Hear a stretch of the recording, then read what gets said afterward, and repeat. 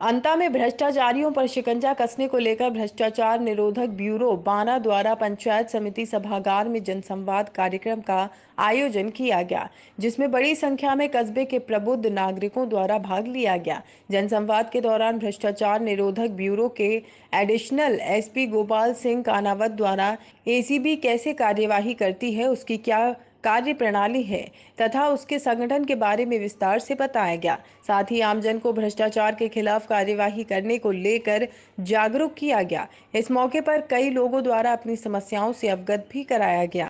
कैसे कार्य करती है? उसकी क्या कार्य प्रणाली है? ट्रेप पद का दुरुपयोग, आय से अधिक संपत्ति के कैसे कैसे होता है?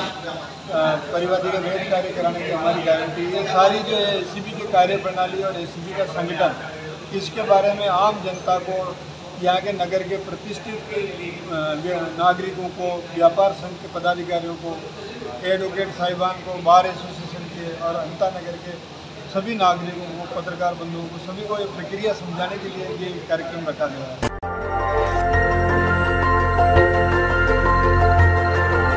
देखते रहिए डीबी भारती समाचार, नज़र हर खबर पर।